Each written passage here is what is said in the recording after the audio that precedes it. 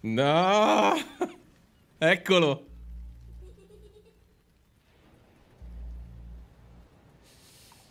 Ragazzi, vi anticipo una cosa. Il film mi ha tenuto letteralmente incollato per tutta la durata.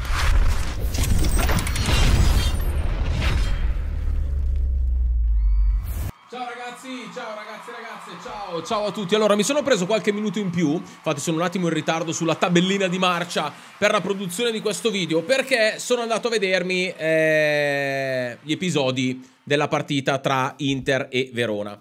Allora ragazzi, io um, voglio, voglio dirvi una cosa che se c'è qualcosa che ho imparato in, nei miei 42 anni e 30 anni e passa che seguo il calcio, è che il destino il fato, eh, il dio del calcio manda durante le stagioni dei segnali incontrovertibili, ok?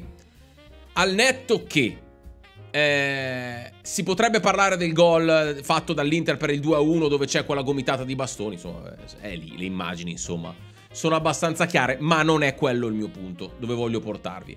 Voglio portarvi sul rigore sbagliato, al 107esimo, 108esimo, insomma, della, della partita. Ragazzi, quelli sono episodi che ti fanno capire che la stagione sta andando in una determinata direzione. Se tu prendi un, un rigore contro al 108esimo in una partita che nel caso l'avessero pareggiata, la Juve poteva fare punteggio, il Milan, non sappiamo, adesso arriviamo a parlare del nostro Milan, domani se vinceva la partita poteva riavvicinarsi ancora e diventare eh, ancora molto più pressante la posizione anche del Milan e non soltanto quella della Juve, tirano il rigore e lo sbagliano. Ragazzi, ripeto, ripeto tutto per essere più chiaro possibile. Che l'Inter sia una squadra forte è un dato di fatto perché se no non fai tutti questi punti, ok? Che l'Inter sia una squadra forte è, è assodato. Che tutti gli episodi, e parlo di episodi di campo, non sto parlando di episodi di arbitrali, ma che tutti gli episodi di campo da inizio stagione li siano girati tutti completamente a favore, quello per loro è un segnale importantissimo. Perché, ripeto, quando il fato quando il dio del calcio decide che tu prendi un rigore contro al 108esimo che ti potrebbe mandare in crisi, ma lo sbagliano, quello è un segnale, ragazzi. È un segnale.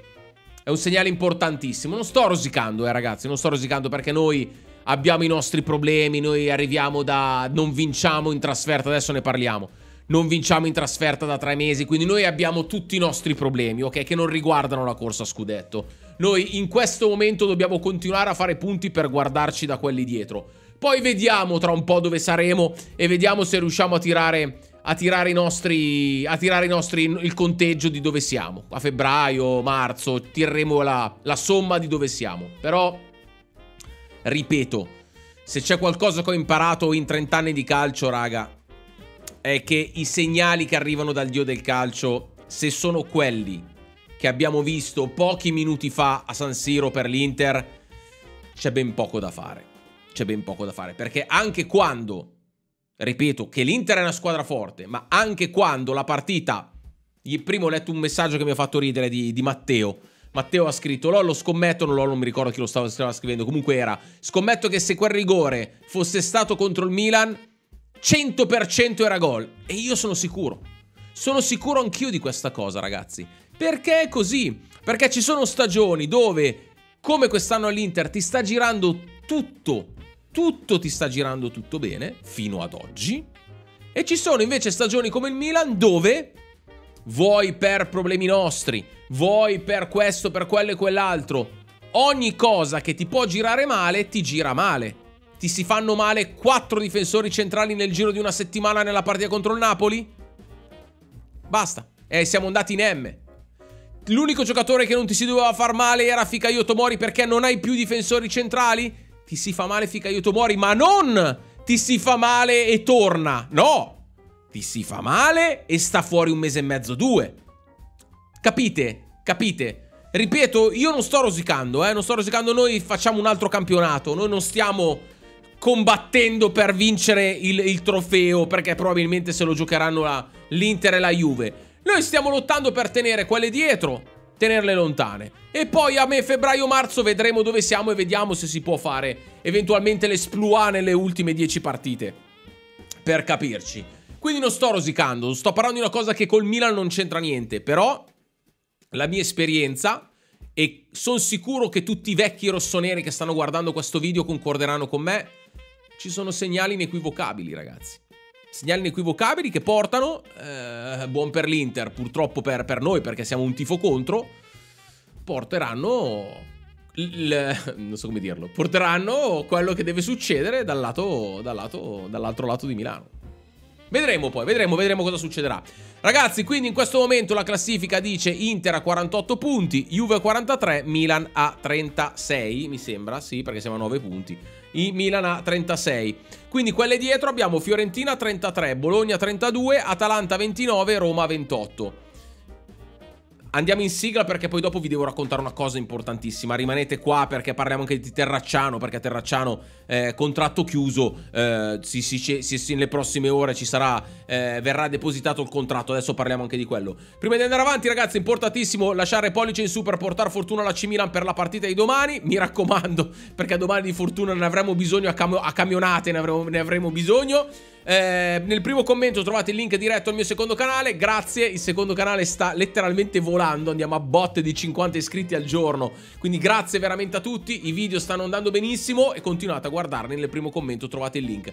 Andiamo in sigla. Vi devo parlare di Terracciano, della formazione di domani. Vi devo parlare di un po' di cose. Uno, due, tre, sigla.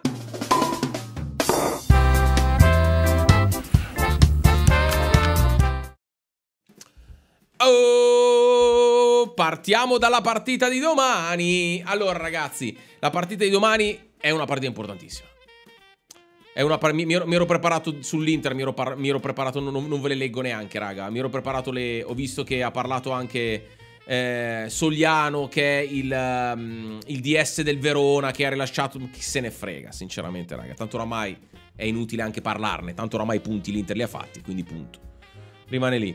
Eh, entriamo, più che parlare della partita di domani, che è una partita fondamentale, noi entriamo in una settimana, ragazzi, che determinerà quello che è il nostro futuro. Voi direte, Lollo, stai esagerando. Ni, ni, né no, né sì. Perché? La partita con l'Empoli domani e la partita con la Roma in casa sono due partite che, se le imbrocchi tutte e due, fai punteggio pieno tutte e due, rimani lì rimani in alto, in alto molto molto in alto, ok? E rimani lì attaccato al treno in alto. Se invece non fai risultato domani, se invece non fai risultato con la Roma, eh raga diventa difficile. Diventa difficile, andiamo a incasinarci incredibilmente per anche il quarto posto. Diventa veramente, sono tutte lì, eh. Fiorentina 23, eh, Bologna eh, 33, scusate, al netto ovviamente dei risultati che poi ci saranno in questa tra, tra oggi e domani. Fiorentina 33, Bologna 32, Atalanta 29, Roma 28, anche la Roma 28, raga, se non fai, se non fai risultati pieni, anche la Roma 28, vince contro di te, fa 3 punti e, e sei lì. Capite quello che vi dicevo? Quindi, partita di domani, importanza capitale. Partita con la Roma, importanza capitale. E in mezzo, partita con l'Atalanta di Coppa Italia, che eh, già giochiamo contro l'Atalanta e quindi è inutile che ve lo dica, che già mi crea un'ansia incredibile giocare contro l'Atalanta. Ma al di là di questo, eh, la partita di mercoledì è una partita che se vinci vai avanti. E poi dopo ci pensi, perché poi dopo ci pensi a aprile, maggio, quando è che è marzo, aprile, insomma, giù, di là ci pensi poi per andare avanti. Però ti dà una spinta in più, ti darebbe una spinta in più. Il sogno è quello di vincere domani, vincere con l'Atalanta e vincere con la Roma. Allora sì, che secondo me inizieremmo, inizieremmo ad aggiustare tante cose. Vabbè, dai, andiamo avanti. Vi devo parlare di Terracciano, ragazzi, perché, insomma, Terracciano eh, è fatta. È fatta, praticamente Terracciano è un nuovo giocatore del Milan. Anche la Gazzetta nello Sport conferma Terracciano è praticamente un nuovo giocatore. Al Verona, come già riferito, 4 milioni e mezzo più uno di bonus.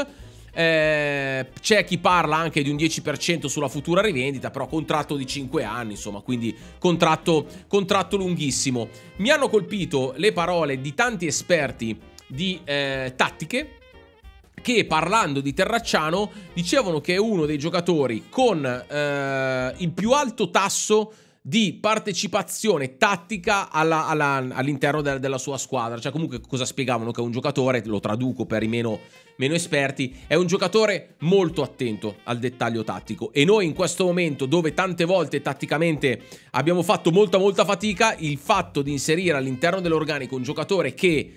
Terracciano, domenica giochi lì e devi fare questo, punto. Ecco, già iniziare a mettere a posto queste cose secondo me sarebbe molto importante.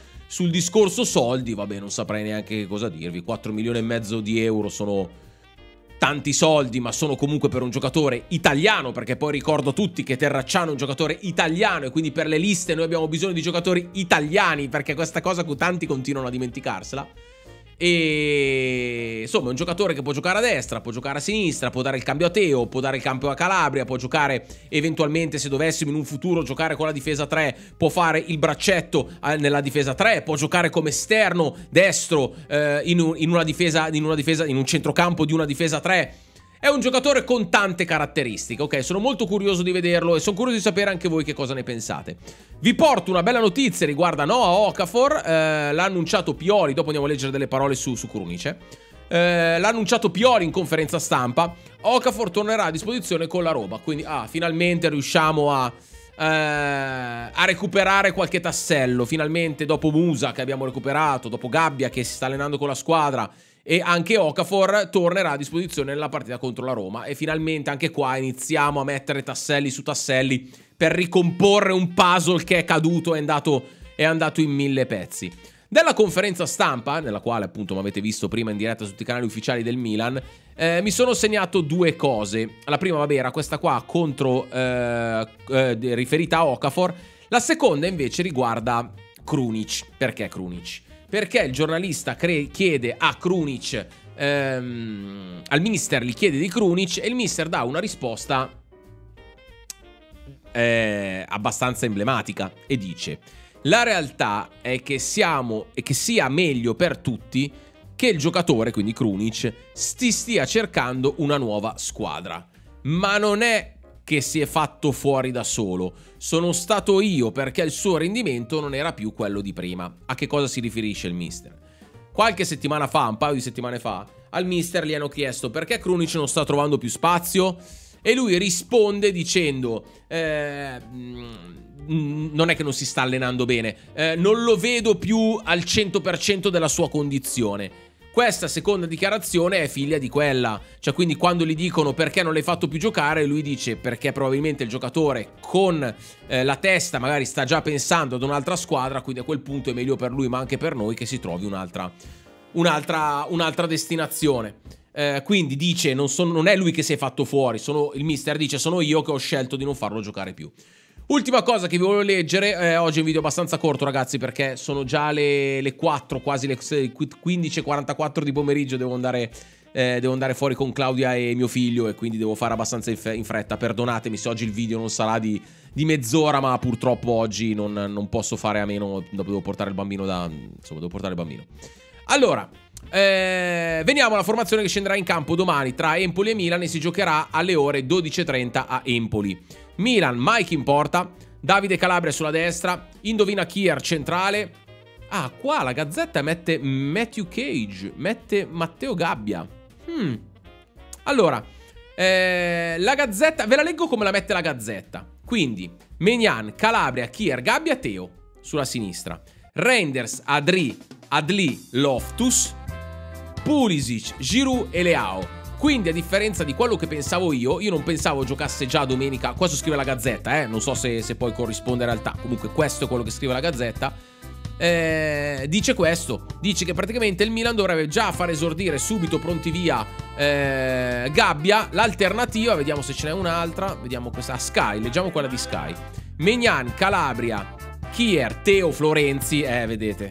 Render, Sadri, Loftus, Pulisic. Jovic e Leao. Qua addirittura Sky mette Jovic e mette Teo centrale. Insomma, diciamo che ci sono un po' di cose un po' così. Ragazzi, vi saluto, vi ringrazio. Scusate il video corto, ma eh, per obblighi familiari, come vi dico sempre, arriva prima il mio dovere da papà, prima di tutto. Vi saluto, vi ringrazio. Come sempre è stato un piacere. Fatemi sapere qua sotto cosa ne pensate. Ciao a tutti, Forza Milan. e vada via l'Inter. Ciao!